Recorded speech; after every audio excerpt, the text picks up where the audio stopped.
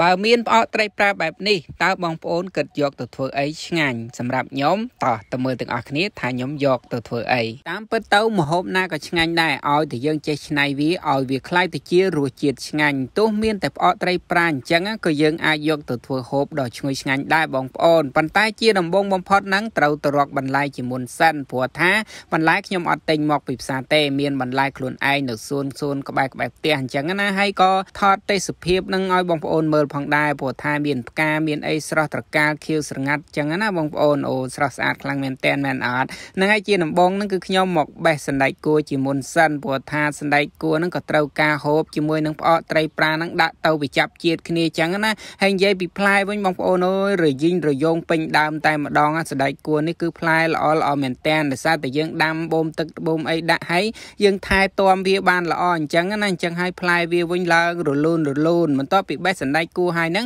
ក៏មកបេះតសក់តសក់នេះតាមពិតទៅដាំយូរហើយបងប្អូនប៉ុន្តែវានៅតែមានផ្លែវាអត់ទាន់ងាប់ដើមអញ្ចឹងណាផ្លែនៅឡើងច្រើនតែម្ដងហើយបេះហ្នឹងក៏មួយមុខបន្តិចមួយមុខបន្តិចអត់មានបេះច្រើនអីទេដោយសារតែយើងត្រូវការផ្សំបន្លែច្រើនបន្ទាប់ពីបេះតសក់បេះសណ្ដែកគួរអីហើយហ្នឹងក៏មកបេះផ្លែម្រះនៅខាងក្រោយផ្ទះដែរម្រះហ្នឹងក៏ផ្លែល្អល្អទៀតផ្លែរយិញរយងរយិញរយងពេញដើមតែម្ដងដាំតាមម្ដើមពីរដើមទេឥឡូវយើងមកមើលគ្រឿងផ្សំយើង មានសាច់ជ្រូកចិញ្ច្រាំផ្អកត្រីប្រាក៏ប៊ីចេងម្ទេសម្ទេសយើងហាន់ជាចំណិតចំណិតបែបហ្នឹងមកទុកយកទៅដាក់ខ្ទឹមក្រហមយើងហាន់ពុះវាជ្រុងជ្រុងបែបហ្នឹងស្លឹកខ្ទឹមគល់ខ្ទឹមហាន់វារួចខ្ទឹមសចិតជាបន្ទះស្ដើងស្ដើងជាមួយនឹងត្រប់ពុតញងផងដែរអញ្ចឹងគ្រឿងផ្សំយើងក៏រួចរាល់ហើយផងដែរអញ្ចឹងយើងចាប់ផ្ដើមទៅលាងផ្អកយើងជាមុនសិនដោយសារតែផ្អកវាមានជាតិប្រៃជាតិអីខ្លាំងឬមួយក៏យើងទិញមកអីអញ្ចឹងក្រែងគេដាក់ថ្នាំដាក់អីអញ្ចឹងណាបងប្អូនអញ្ចឹងហើយយើងលាងទឹកវាមួយទឹកពីរទឹកអីទៅដើម្បីឲ្យវាស្អាតល្អអញ្ចឹងណា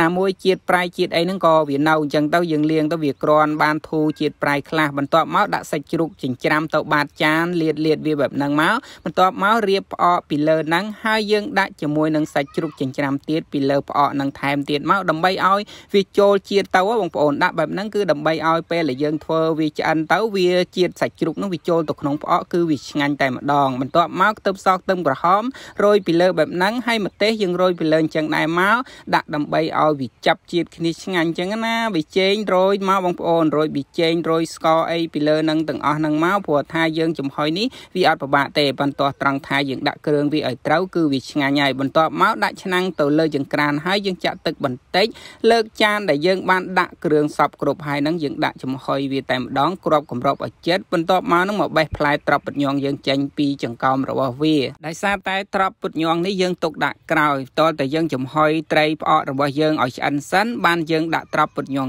ចូលដើម្បីកុំឲ្យវារលួយខ្លាំងពេកបន្ទាប់ពីបេះផ្លែត្រប់ពុតញងហើយយកមកលាងទឹកវាឲ្យស្អាតមកហើយបន្លែរបស់យើងក៏ចាប់ផ្ដើមលាងទឹកតែម្ដងទៅព្រោះថាយើងធ្វើបណ្ដើបណ្ដើទៅទន្រាំតែផ្អកយើងឆ្អិនគឺយើងធ្វើរួចរាល់តែម្ដងឆាប់បានហូបអញ្ចឹងណាហ្នឹងហើយលាងមកនេះមានតាំងពីផ្លែម្រះផ្លែត្រសក់មានតាំងពីសណ្ដែកគួរអីអញ្ចឹងណាបងប្អូនលាងមកបន្ទាប់ពីយើងលាងស្អាតបាតហើយហ្នឹងទៅមើលផ្អកយើងម្ដងទៀតប្រហែលជា15ទៅ20នាទីទេឃើញថាវាឆ្អិនហើយបងប្អូនឆ្អិនហើយអញ្ចឹងយើងដាក់ផ្លែត្រប់ពុតញងចូលតែម្ដងហើយដាក់សន្លឹកខ្ទឹមដែលយើងបានហាន់ហ្នឹងដាក់ចូលហើយយើងគ្របទុកតែមួយផ្លែតប្រហែលជា1នាទីអីទៀតហ្នឹងយើងមកបើកម្ដងទៀតយើងចុចសាច់ត្រីយើងមើលទៅថាវាឆ្អិនហើយឬនៅឃើញថាមើលទៅវាឡើងផុយហើយសាច់ជ្រូកហ្នឹងក៏វាឆ្អិនហើយផងដែរអញ្ចឹងរួចរាល់ហើយបងប្អូនអញ្ចឹងតោះទៅភ្លក់ទាំងអស់គ្នាហើយកុំភ្លេចច្របាច់ក្រូចឆ្មាដាក់បន្តិចផងមើលណែតំណងណាស់បងប្អូនអើយនិយាយទៅដាក់ទៅជាតិហ្មងជាតិមហាសែនជាតិ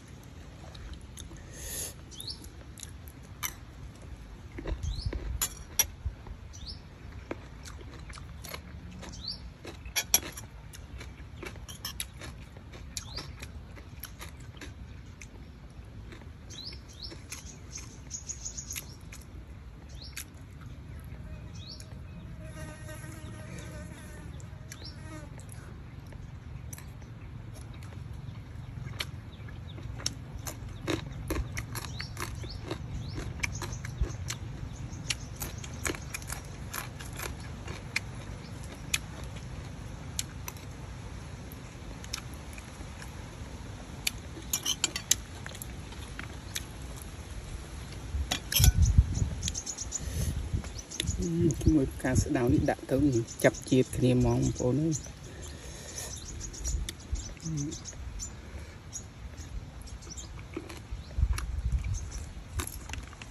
អឺ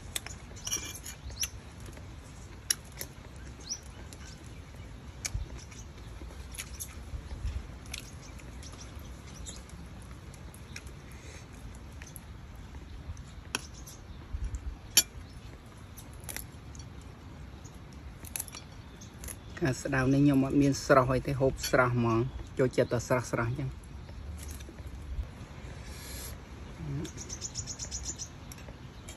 អឺ